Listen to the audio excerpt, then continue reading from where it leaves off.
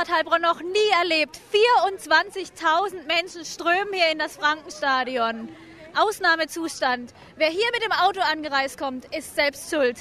Der große Ansturm verteilt sich ein bisschen über den Nachmittag, weil die Tore schon seit 15 Uhr geöffnet sind. Pink in Heilbronn, ein Weltstar in Heilbronn. Die amerikanische Pop-Queen reist mit einem ganzen Hofstaat an. Techniker, Organisatoren, Wachleute und sogar ein Spezialkoch. Lange ist es her, dass sich so viele Menschen im Frankenstadion gedrängt haben. Das letzte Event dieser Größenordnung war vor 13 Jahren das Backstreet Boys Konzert. Die Zuschauermassen werden von einer langen Schlange über den ganzen Parkplatz und dann die gesamte Theresienstraße entlang geleitet. Hier ist Geduld gefragt. Obwohl Pink erst um 21 Uhr die Bühne betritt, ist das Stadion bereits jetzt gut gefüllt. Denn schließlich startet schon jetzt das attraktive Vorprogramm. Wie fühlt es sich denn an, wenn man jetzt aus Moosbach nur hier nach Heilbronn muss, um so einen Weltstar, einen amerikanischen Weltstar zu sehen wie Pink?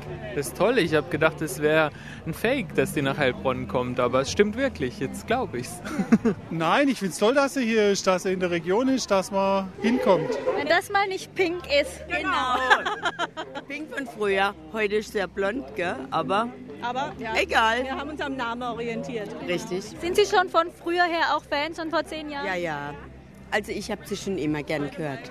Und ich habe vor kurzem ein Konzert von ihr im Fernsehen gesehen und war so begeistert, dass ich gedacht habe, da muss ich hin. ist doch die Stimmung ganz anders, wenn man hier live dabei sein darf. Ich erwarte hier natürlich eine grandiose Show von Pink. Pink ist jetzt gar nicht so der Rockstar, sondern eher so ein bisschen ein Pop-Rockstar, aber Sie stehen. Ist halt eine klasse Frau. Ganz einfach. Die strahlt halt einfach was aus. Sexappeal und die Musik ist eigentlich auch nicht schlecht. Ich war schon in Frankfurt und es hat mir einfach so toll gefallen mit meinen Freundinnen und da mussten die Männer dann daheim bleiben und dann habe ich halt erzählt, dass es einfach so toll war und dann wollte unbedingt auch hierher. Während hier gerade noch die letzten Nachzügler ins Stadion laufen, sind wir schon wieder draußen, weil Aufnahmen während des Konzerts leider verboten sind. Obwohl ganz viele mit dem Auto angereist gekommen sind heute, ist das große Verkehrschaos ausgeblieben. Dafür haben die Fans lange Fußmärsche in Kauf genommen. Jetzt hoffen wir einfach mal, dass das nächste große Event dieser Art nicht wieder 13 Jahre auf sich warten lässt.